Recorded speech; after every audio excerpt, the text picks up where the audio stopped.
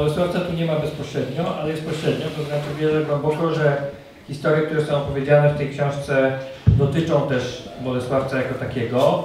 E, tym bardziej, że no, jest tutaj blisko do rejonu, który jest bardzo silnie tam opisany, to znaczy e, Kotliny Jeleniogórskiej e, i e, Bukowca i tego wszystkiego, co się działo też w Kowarach, w Sudetach, więc tak regionalnie to już trochę bardziej. E, no ale, ale tak, no bezpośrednio nie ma. E, natomiast, e, jeśli chodzi, ale to też nie jest związane z tym, że mm, Tutaj nie miałem y, jakichś doświadczeń związanych z krainą, chociaż musiałem sobie przypomnieć, czy miałem, czy nie. A może e... dlatego, że ta piramida taka Nie, nie, nie, to nie, nie, nie, nawet zapomniałem, że piramida z Bolesławca. W sensie teraz, jak sprawdziłem spotkanie, to sobie przypomniałem, że oczywiście piramida z Bolesławca. E, bo ja do, do Wanny Stone, no naprawdę całą Polskę jeździłem. Mm. E, natomiast y, kraina jako pojęcie, które jest fundamentalnie ważne dla tej książki, jest objaśnione na jej początku, e, nie jest tożsama z faktem, że się jest na ziemiach poniemieckich. To znaczy, że to nie wystarczy. To jest warunek konieczny, a nie jedyny, e, bo mm, ta kraina pisana wielką literą w książce to jest taki stan, czy takie doznanie, którym mm, które wielokrotnie doświadczałem od dzieciństwa właściwie, a od pewnego momentu umiem je nazwać znaczy, tym słowem.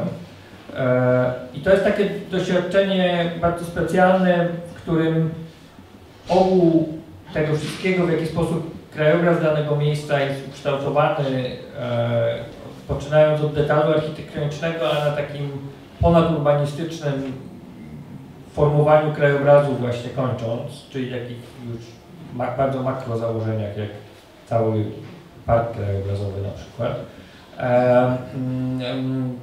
całe to doświadczenie, czy cały ten ogół środków sprawia, że ja mam poczucie, że, czy nawet pewność, że ktoś, kto żył 100 albo 200 lat temu, dokładnie wiedział, jak one na mnie zadziałają teraz. To znaczy, że e, ja mam takie poczucie, że przez to, w jaki sposób ta przestrzeń jest zakomponowana.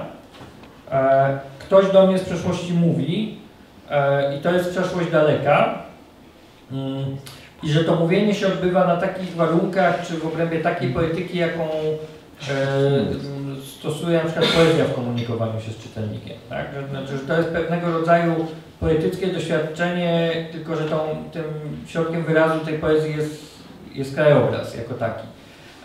I że w ten sposób ja mam jakąś łączność z tymi, którzy to formowali, projektowali, kształtowali i że to jest doznanie bardzo przyjemne. I, i nawet jak o tym mówię teraz, czy też to jak to opisuję, y, czyni rzecz dosyć enigmatyczną i nie do końca, znaczy cały czas się borykam z tą myślą, że to doświadczenie krainy jest tak naprawdę moim jednostkowym zaburzeniem neurologicznym, a nie czymś więcej i że stawianie na tym całej książki jest y, dosyć ryzykownym zabiegiem. Ale na szczęście ja się nie zajmuję sprzedawaniem książek, tylko ich pisaniem, więc to jest bardziej problem mojego wydawnictwa niż mój. Ale no, jako, że wydali, to chyba wierzą, że ktoś jeszcze tak ma. E, I to nie, nie o to chodzi, że ja jestem taki mądry i mam tak, a inni nie zrozumieją, tylko o to, że to naprawdę może być tak, że mi się coś w głowie przestawiło. Bo... Chciałam tylko powiedzieć, jeżeli chodzi o zaburzenia neurologiczne, mamy tu w Bolesławcu bardzo dobry wojewódzki szpital zajmujący się bardzo piękny Kolejna propozycja więc... śląskiej i pani na, na widowni, jak mówiłem w podobny sposób, powiedziała, że ona robi prywatnie tomografię i może mi zrobić miał ochotę. Więc, yy, yy, więc dziękuję. Yy, i zna też psychoterapeutkę, z którą ze mną porozmawiać. E, więc, y, mm, ale jest też trochę tak, że jako, że ten krajobraz, bo, bo to o tym, e, to jest to doświadczenie tak wielozmysłowe i wieloaspektowe, że być może pisanie o nim jest tak naprawdę mierzeniem się z porażką opisania go. To znaczy, jeżeli zakładamy, że muzyka jest czymś nieprzekładalnym na inne media, jeżeli malarstwo jest, nie, nie, da się opisać obrazu tak, żeby oddać wszystko, co ten obraz robi, tak? Albo nie da się opisać utworu muzycznego językiem, żeby oddać wszystko, co ten utwór robi.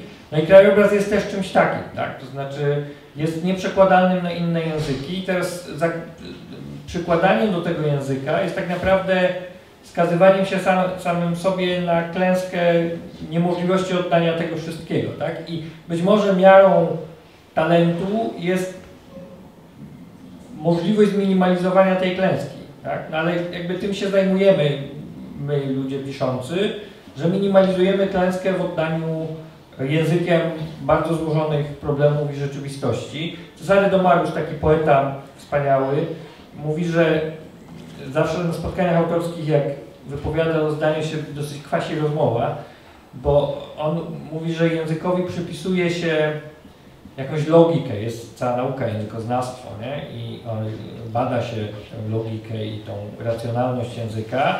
Czasem on uważa, że język jest zbiorem dość przypadkowo powstałych fonemów, które próbują oddać bardzo złożoną rzeczywistość, która jest nieprzekładalna na język. I może to jest trochę tak, że po prostu dobra literatura to ta, która ponosi najmniejszą klęskę w możliwości tego przekładu.